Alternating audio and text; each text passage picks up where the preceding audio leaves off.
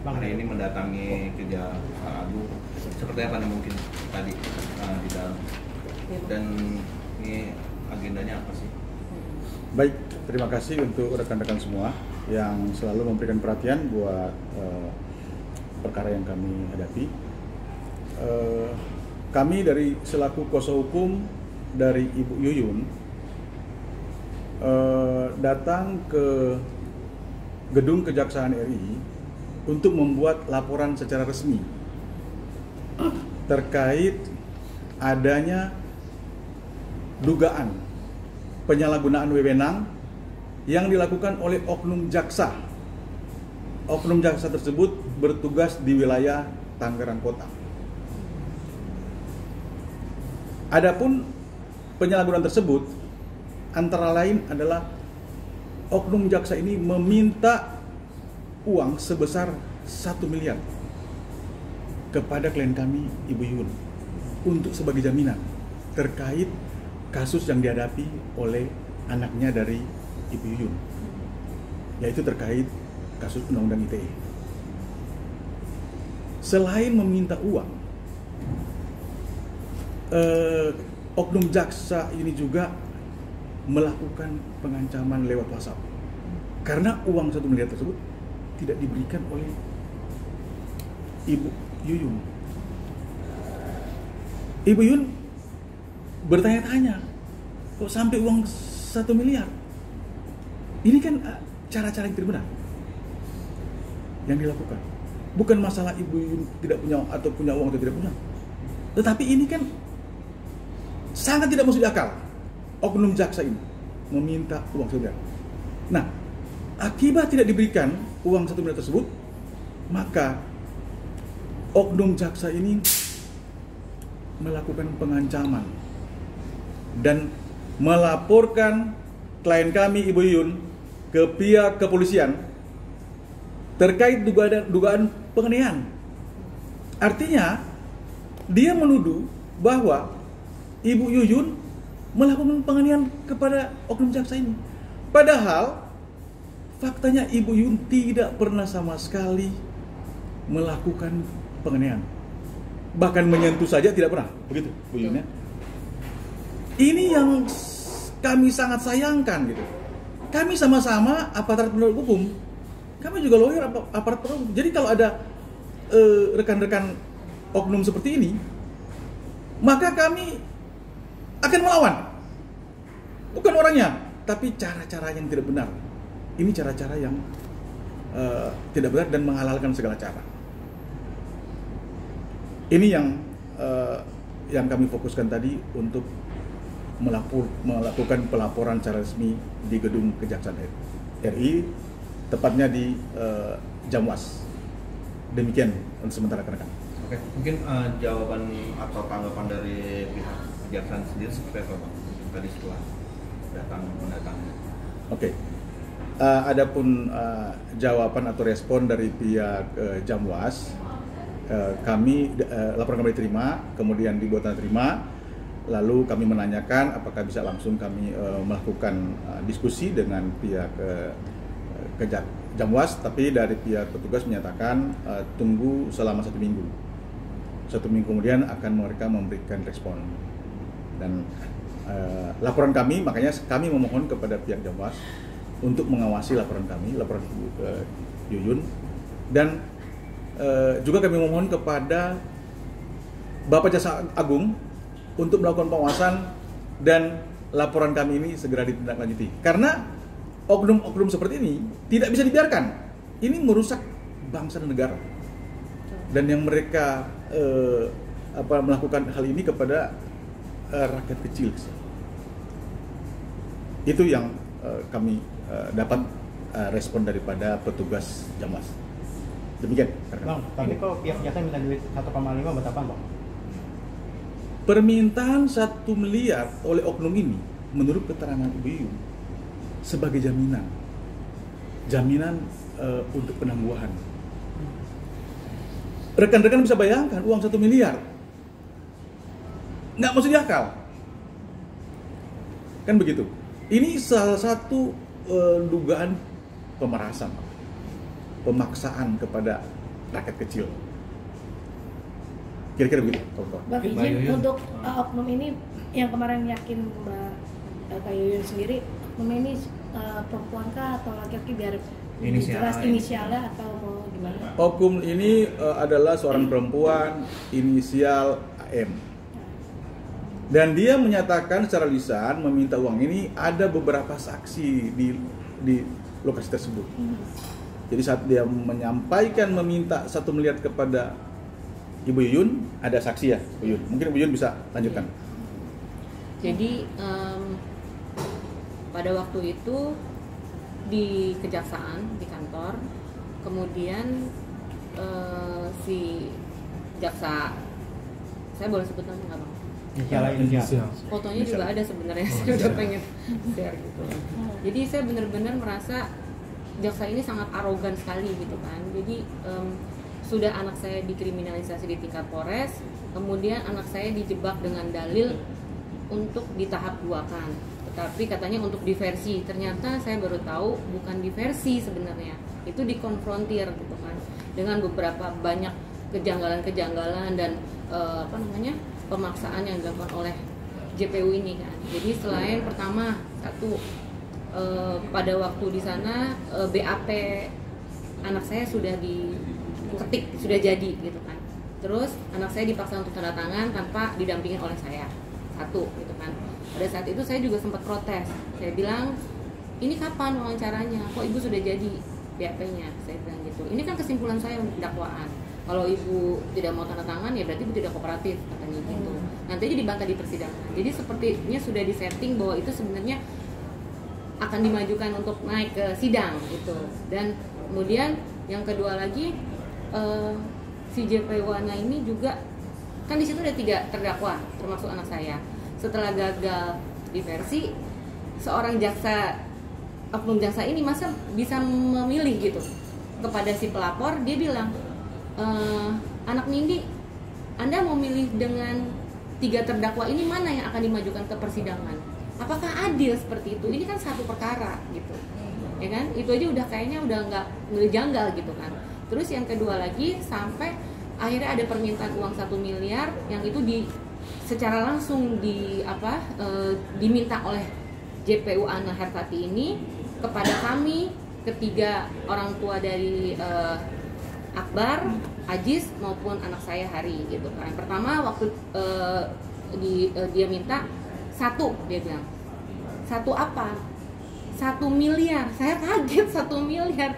Mungkin 100 juta atau berapa gitu kan. Ternyata satu miliar Ada saksi. ada saksi saksinya di situ orang tuanya dari eh, terdakwa Akbar Muhammad Akbar terus yang kedua orang tua dari Yusuf Ajis terus saya kemudian ada si Umbu. Umbu yang bekerja sama dengan ternyata saya dijebak oleh Umbu ini adalah orang dari eh, oknum Polres maupun oknum JPU gitu. Karena itu nanti akan berkaitan dari eh, screenshot dari chatan sebelum adanya pengancaman dari JPU jadi ada tektokan antara JPU Ana dengan si Ubu tersebut gitu. Nah kemudian juga ada dari lawyernya juga dari eh, Posbakum dari pihak dua terdakwa itu gitu. Jadi di situ ada saksi secara langsung diminta satu miliar, kemudian eh, sampai saya mau pulang pun masih ditanya bagaimana bu mengenai uang satu miliarnya. Saya aja baru nyesek akan berpikir gitu kan istilahnya kok sampai sejauh ini. Akhirnya dia masuk lagi ke dalam kan ke dalam terus dia eh, keluar lagi terus dia bilang Eh, kalau seandainya itu BPKB mobil atau BPKB motor juga boleh. Loh kok ini jadi kayak tawar menawar seperti di pasar gitu loh itu. Udah anak saya tidak melakukan apa yang disangkakan, dibuat sedemikian rupa dengan dipelintir dengan menurut kesimpulan dia untuk membuat dakwaan dengan BAP yang sudah di apa namanya udah dibuat kemudian dari pihak Bapak Sumadi yang pada saat itu juga ada. Litmasnya juga sudah jadi. Jadi tanpa apa ya kami ini saya sebagai seorang ibu dan juga anak saya masih di bawah umur gitu. Jadi saya merasa ditekan gitu loh di sini ditekan diperas dan diancam.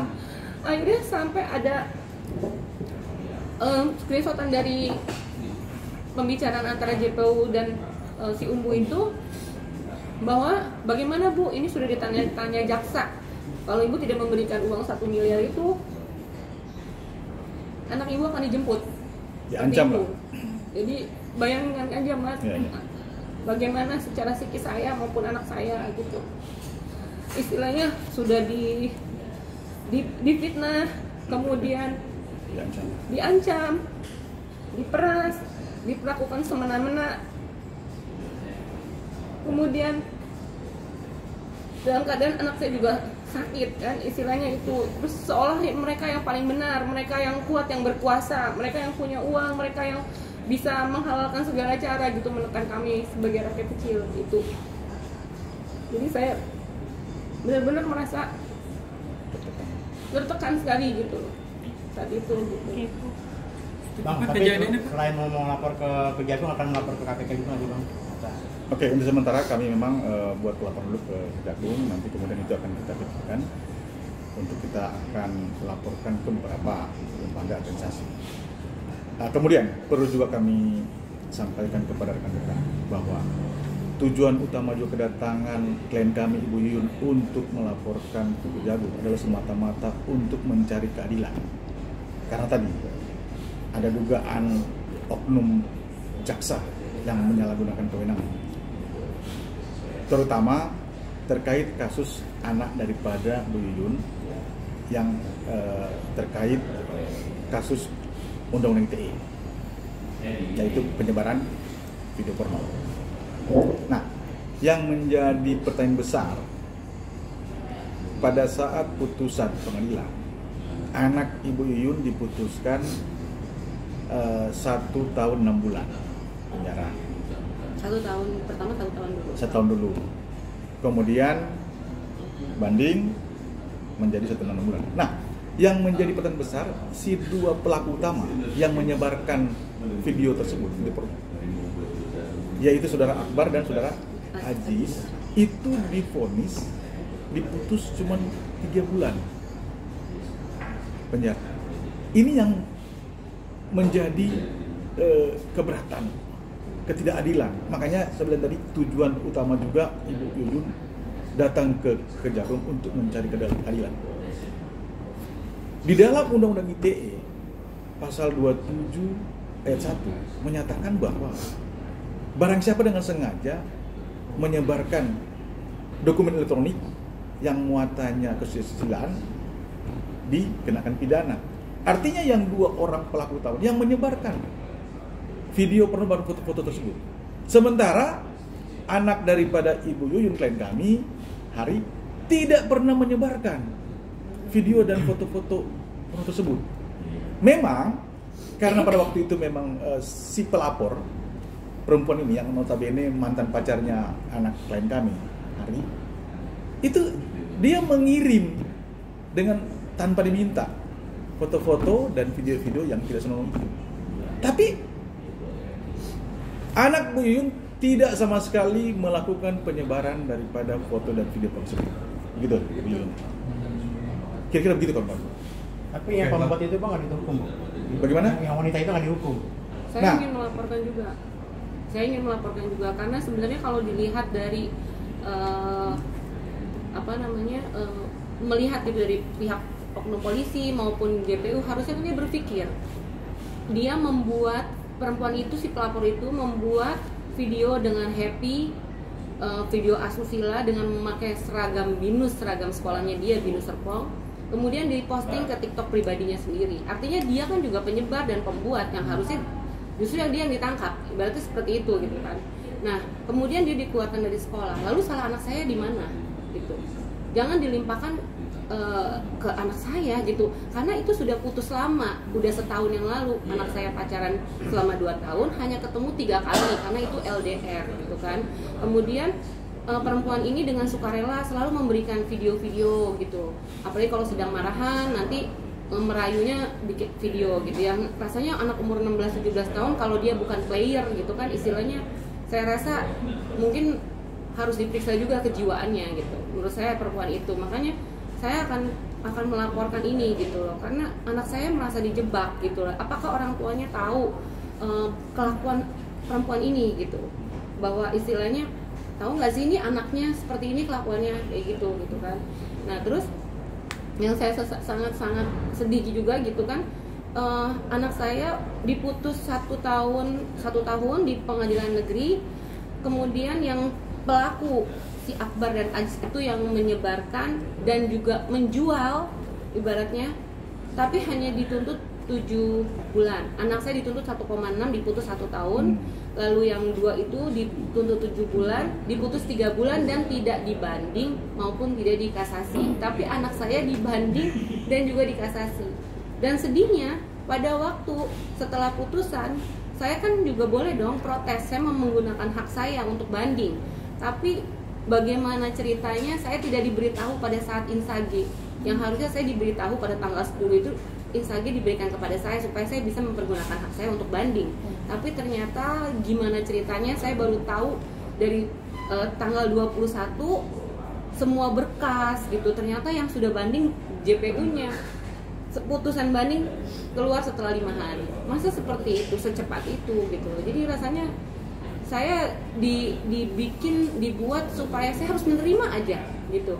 Anak saya harus sesuai dengan apa yang mereka mau aja kayak gitu gitu loh. Jadi rasanya nggak adil aja gitu loh untuk anak saya. Apalagi saat ini saya sebagai seorang ibu yang membela anak saya saya dilaporkan oleh JPU-nya itu Mbak, Mbak sendiri sampai saat ini gimana sudah bertemu dengan sang anak nih yang lagi mengalami masa hukuman? Atau memang ada yang dilakukan oleh JPU ini oknum ini bagaimana? Ya anak saya sih alhamdulillah tidak ditahan ya. Istilahnya anak saya itu eh, apa namanya masih tetap bersekolah di SMA Negeri 1 di Cirebon. Tapi kan dengan adanya hal ini dia kan juga secara eh, trauma tertekan secara psikis. Belum lagi ada beberapa temennya juga yang yang nggak tahu ceritanya. Dia juga ada pembulian. Saya juga mohon kepada eh, ibu guru di sekolahnya juga untuk menjaga anak saya gitu. Dan anak saya juga konseling juga ke psikolog juga kan gitu. Terus apalagi dia juga sedang sakit sampai saat ini masih fisioterapi karena dia punya penyakit skondolosis kan itu gitu. Saya selalu support dia sih sementara saya juga harus kuat juga kan untuk menghadapi ini semua untuk mencarikan anak saya. Kalau untuk pemerasan sendiri cuma tepatnya kapan sih Pak? itu waktu itu eh, sebelum persidangan maju ke persidangan. Itu Tahun lalu kah atau tahun ini masih Oh, tahun, masih ini. Tahun Eh, ini. bulan bulan Mei bulan Mei Mei. oh, baru-baru ini ya. Baru-baru. baru-baru ini aja. Eh, Bayam kenapa sih baru sekarang ini di uh, upload Apa? ke online Iya. uh, berani untuk berkomentar di media saya kan sebenarnya berapa bulan sih dari bulan Februari sebenarnya ini makanya yang saya sesalkan juga jadi saya juga sangat nyesel banget gitu loh karena saya percaya kepada salah satu instansi Polri yang pada saat itu anak saya dikriminalisasi oleh oknum Polresta Bandara Suta. Diambil oleh 15 orang oknum loh mas. Seperti teroris seperti pembunuh anak saya. Padahal anak saya cuma hanya seorang anak gitu kan. Udah gitu tanpa ada surat panggilan 1 2 3 datangnya ke sekolahan juga gitu kan. Kemudian saya tanya buktinya mana juga mereka tidak bisa menunjukkan gitu kan.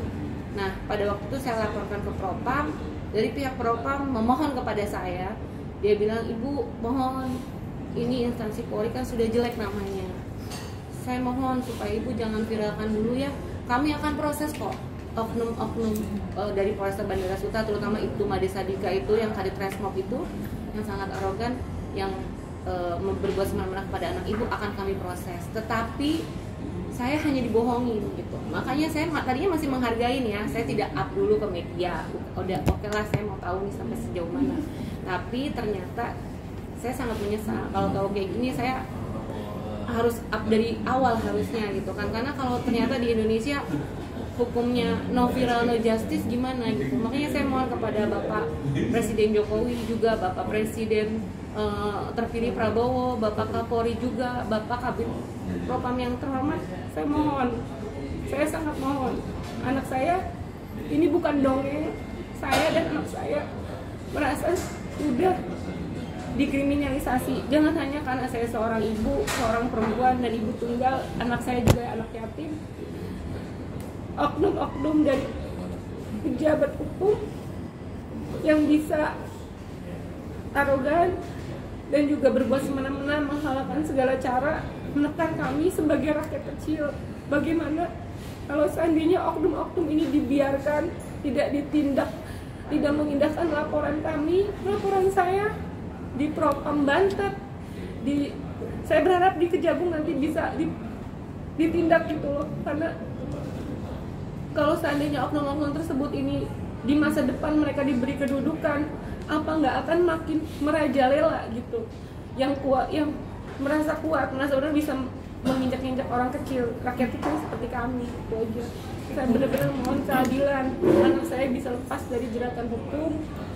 Dan oknum-oknum yang terkait bisa ditindak dan diberi sanksi itu aja saya mohon Bang, eh, ini kan yang dihadapi eh, apa eh, eh, instansi negara ya. Langkah-langkah apa yang abang akan lakukan untuk agar kasus ini bisa terselesaikan sebagai kuasa hukum bang? Oke, seperti hari ini kan eh, langkah kita ke Kejagung, makanya terkait tadi oknum jaksa, makanya kami memohon kepada Bapak Jaksa Agung untuk mengawasi dan memperhatikan laporan-laporan ini masyarakat kecil. Karena ini untuk bukan terkait Buyun aja, ini terkait masyarakat dan bangsa. Jadi makanya kami mengimbau kepada para eh, petinggi-petinggi penegak hukum, apakah itu kejaksaan ataupun Bapak Kapolri, ya untuk eh, betul-betul merespon apa yang di eh, pengaduan daripada masyarakat. Karena hanya dengan jalan mengadukan ini agar supaya mereka eh, bisa. Artinya semoga dengan laporan-laporan ini ketika mereka diproses ini menjadi eh, apa namanya eh, hal yang baik buat penegak hukum. Dan kemudian lagi terkait aparat penegak hukum terutama tadi yang kita sampaikan hari ini memang kita fokus pada oknum jaksa. Eh, hal-hal yang mereka, lakukan eh, dalam menjalankan tugas sebagai profesi jaksa kemudian dengan cara-cara yang tidak benar atau menghalalkan segala cara maka kami dengan tegas menyampaikan satu kata kami lawan tentunya secara hukum kira begitu kawan Oke. Bang itu berapa lama prosesnya bang di Kejagung nanti? di Kejagung kami dapat informasi dari petugas eh, Jamwas itu eh, satu minggu Hmm. satu minggu kami akan cek kembali kemudian eh, kita akan eh, apa namanya berkonsultasi lebih lanjut dengan pihak Jamwas Oke. Eh, Pak Pak Yuyun, Pasal-pasal yang digunakan nggak sih? Ada pasal-pasal yang digunakan atau gimana? Eh, sementara karena kita yang kita lapor oknum ini eh, lebih ke kode etik profesi sebagai jaksa. Karena ada penyalahgunaan wewenang dugaannya. Ya, tadi yang terkait minta uang satu miliar ketika nggak dikasih melakukan penyampaian eh, apa pengancaman dan melaporkan dengan tuduhan penganiayaan. Padahal Ibu Yun sendiri tidak pernah sama sekali melakukan penganiayaan kepada jaksa. Logika saja masa seorang Ibu Yun melakukan penganiayaan kepada jaksa. Itu dan itu ada saksi juga. Jadi Ada pada saksi. waktu itu di persidangan eh, saya benar-benar sebagai seorang ibu tidak diberi kesempatan untuk saya eh, me- apa namanya me- me- mengungkapkan gitu ya. Saya mau berbicara lah sebagai saya seorang ibu tolong didengar gitu. Jadi selalu dikat terus sama JPU anak itu keberatan keberatan bahkan anak saya pun pada saat di persidangan sepertinya tuh ditekan untuk nggak bisa berbicara apa-apa gitu diintervensi gitu kan. Sampai adanya pembentakan juga dari uh, JPU ini ke anak saya di depan hakim. Lalu anak saya sampai bilang ibu saya masih seorang anak. Dia bilang itu bisa nggak ibu bicaranya pelan sedikit? Tolong perlakukan saya sebagai anak status anak sebagai anak. Sampai itu dia katakan sendiri di depan hakim. Itu gitu kan. Nah terus yang keduanya lagi eh, setelah saya tidak diperbolehkan bicara saya keluar memang dari ruang sidang. Saya keluar dari ruang sidang saya berharap ingin didengar suara saya oleh ibu yang mulia hakim. Saya bilang jaksaan Hertati Marbun oh, jaksaan kota Tangerang meminta uang ke saya satu miliar. Saya ngomong di depan dan semua tuh orang tahu dan saya ceritakan semua bahwa anak saya dikriminalisasi di oknum eh, kepolisian Polresta Bandara Sutra lalu ke kejaksaan yang harusnya ini tidak bisa eh, maju ke persidangan karena semua cacat administratif tapi semua dipaksakan. Saya teriak di situ. Jadi saya mohon yang mulia hakim tolong saya mohon keadilan untuk anak saya. Dan di situ ada saksinya yang law- lawyer juga namanya Pak Togi Pak Togi juga merekam saya. Ibu Lukita yang lawyer juga juga merekam saya. Jadi dia tahu kalau seandainya si JPU ada itu memfitnah saya seperti itu di situ ada saksi yang merekam juga gitu. Dan Pak Togi maupun Bu Lika siap untuk menjadi saksi. Karena Pak Togi pun juga pernah bermasalah dengan JPU anak karena memang ini JPU ini sangat arogan Eh, Pak Togi itu kan mungkin sudah tua kan lawyer tapi dia harusnya kan dia bisa mempunyai tata krama untuk ibaratnya kepada yang lebih tua gitu. Jangan sombong lah jangan arogan si jaksa JPU anak ini. Main apa namanya berkas dilempar. Lalu eh, Pak Togi juga sampai melaporkan ke Kejaksaan Agung dia cerita ke saya dengan Pak Rahman atau siapa gitu saya lupa. Akhirnya langsung diganti JPU-nya di kasus dia ya pada waktu itu. Makanya eh, saya mempunyai saksi juga gitu loh. Pak Togi yang sebagai lawyer dan juga bulu kita yang sebagai lawyer yang tahu pada waktu saat saya berteriak mengenai saya mencari keadilan untuk anak saya tapi saya malah difitnah dan dilaporkan oleh JPU kalian bisa menilai sendirilah. Saya berjuang untuk darah daging saya dan saya melahirkan anak bukan untuk diperbuat semena-mena oleh para oknum oknum gitu loh. Itu aja. Saya sangat sedihnya di situ. Makanya apakah sebobrok ini keadilan? Apakah sebobrok ini instansi Polri? Apakah sebobrok ini kejaksaan? Kalau begitu bongkar semuanya. Mohon netizen kawal, media kawal.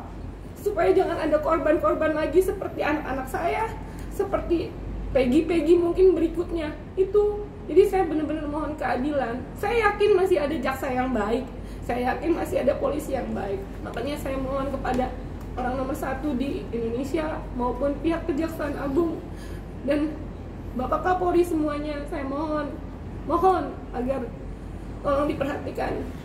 Pengaduan saya ini tolong dan masyarakat juga saya mohon dikawal itu aja. Oke, itu kakaknya.